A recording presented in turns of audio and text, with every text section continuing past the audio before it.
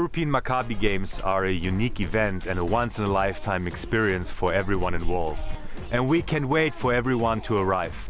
Only 70 years after the Shoah, Germany is hosting the largest Jewish event in Europe. This extraordinary event could not come together without the help of hundreds of volunteers from around the world.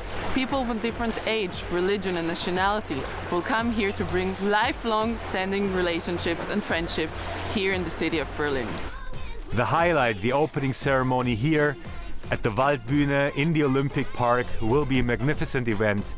Als Maccabi-Sportlerin weiß ich, was für ein unglaubliches Gefühl es ist, bei einer Eröffnungsfeier der European Maccabi Games einzulaufen und sein Land zu repräsentieren. Der Olympiapark ist noch komplett kahl. Damit ein unglaubliches Maccabi-Gefühl entstehen kann, brauchen wir noch Fahnen, um den Olympiapark bunter zu machen. Help us rebrand the Olympic Park with flags, banners, stickers and much more.